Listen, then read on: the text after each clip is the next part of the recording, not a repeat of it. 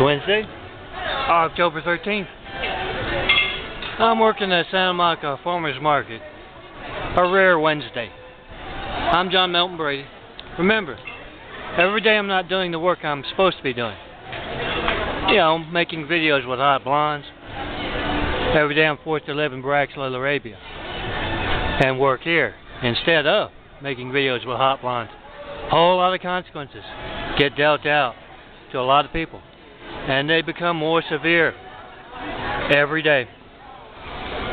Come see me in person.